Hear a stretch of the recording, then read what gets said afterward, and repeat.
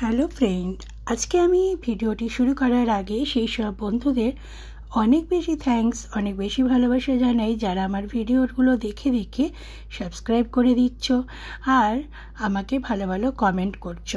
আমি ইউটিউবের বন্ধু এবং ইউটিউবের বাইরের বন্ধুরা যারা আমার ভিডিওগুলো দেখছ, যারা কি বলব, আমার ভিডিওগুলোকে ভালোবাসছো, তারা, আর যারা সাবস্ক্রাইব করছ, তারা অনেক অনেক ভালো থেকো আর এইভাবেই আমাকে এগিয়ে যেতে সাহায্য করো। আর তোমাদের ভালোবাসার জন্যই তোমাদের আন্তরিকতার জন্যই আমি বারবার ভিডিও নিয়ে চলে আসি। তো দেখো, এখানে আমি নিয়ে এসেছি আমন্ড অয়েল। তোমরা চাইলে বডি অয়েল বা নারকেল তেল এগুলো ব্যবহার করতে পারো। তো বন্ধুরা, আজকের ভিডিওটা বিশেষ করে শুষ্ক ত্বক নিয়েই আমি করছি।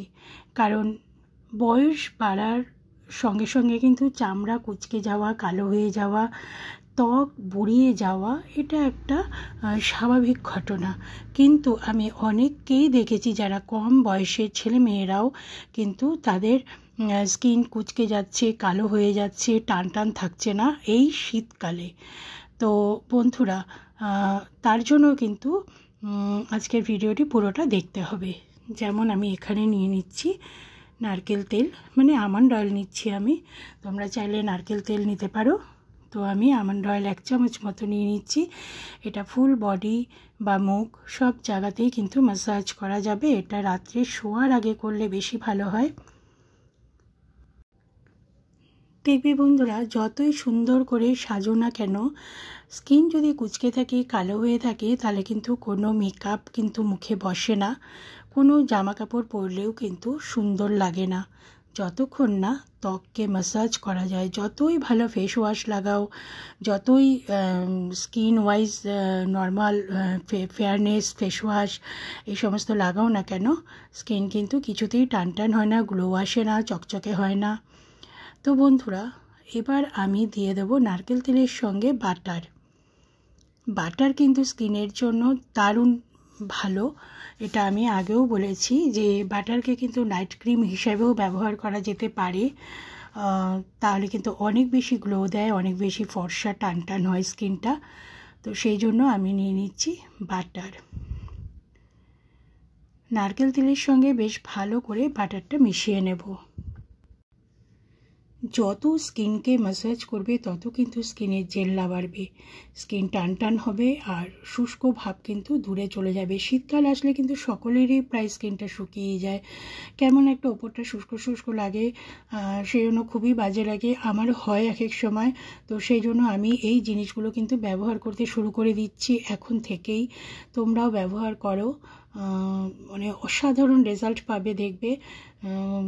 মানে শীতকালে আলাদা করে তোমাদের কিছু করতে হবে না। আর এটা করলে পরে কিন্তু আগে কিন্তু মুখ, হাত, পা এগুলো কিন্তু ভালো করে ধুয়ে নিতে হবে। বডি ওয়াশ বা একটু স্ক্রাবিং বা মুখে ফেস ওয়াশ এগুলো দিয়ে মুখটাকে পরিষ্কার করে তারপর এই জিনিসটা লাগাতে হবে। তো দেখো এখানে বাটার দিয়ে দিয়েছি আর আমন্ড অয়েল দিয়ে দিয়েছি। আমন্ড অয়েল জানোই তো ভীষণই ভালো স্কিনের জন্য। আর এখানে দিয়ে দিচ্ছি একটুখানি হলুদ। তো এক চিমটে হলুদ যেহেতু এটা রান্নাঘরের রান্না করার হলুদ বেশি দিলে একটা হলদে হলদে ভাব লাগে জন্য এক চিমটে দিয়ে দেবে। যদি কাস্তরি হলদি থাকে তোমাদের কাছে, তাহলে কাস্তরি হলদিটা দিলে বেশি ভালো হয়।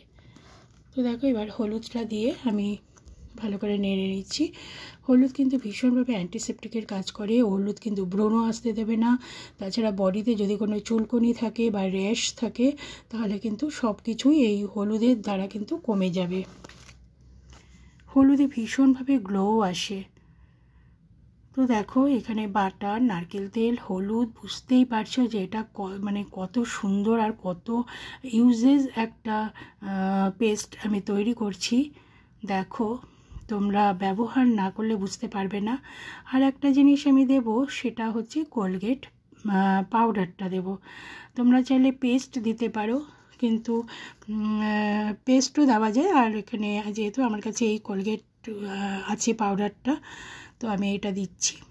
বিশ্বাস করো বন্ধুরা, যখনই কোনো পেস্ট দেবে মানে বিশেষ করে কোলগেট পেস্ট বা পাউডার দেবে কোনো মাসাজের ক্রিমের সাথে বা কোনো ফেস ওয়াশের সাথে এত সুন্দর স্কিনটা পরিষ্কার হয়, এত চকচকে একটা গ্লেজি ভাব আসে যে ভাবতেই পারবে না।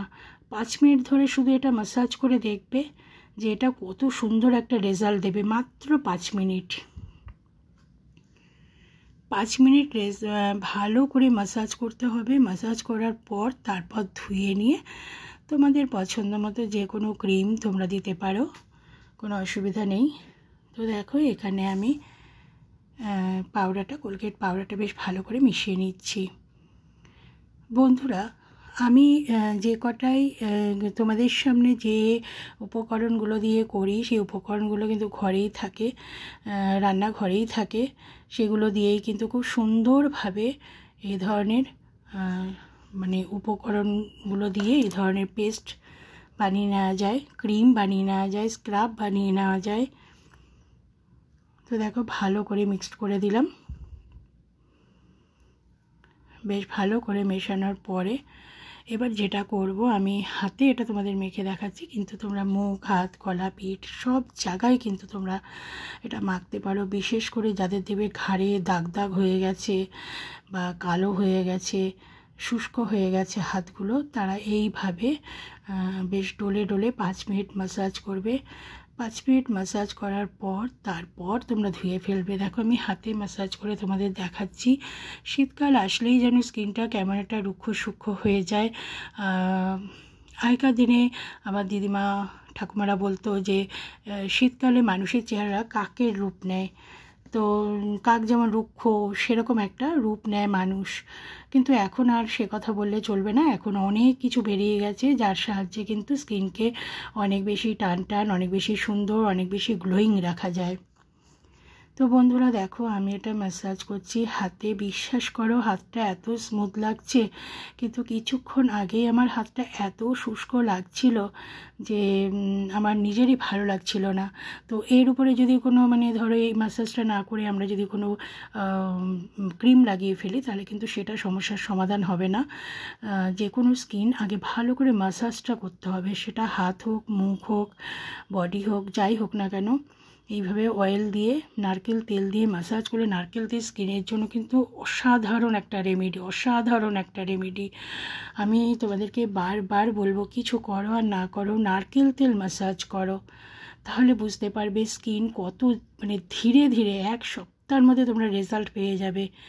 যে স্কিন কত গ্লোয়িং চকচকে আর একদম মানে কি বলব টান টান একটা চামড়া তোমাদের হয়ে যাবে। এর উপরে মেকআপ যখন করবে তখন মেকআপটাও খুব সুন্দর বসবে আর জামা কাপড় যাই পরো না কেন ভালো লাগবে। তো বন্ধুরা, তোমাদের কেমন লাগল তোমরা কিন্তু অবশ্যই জানাবে।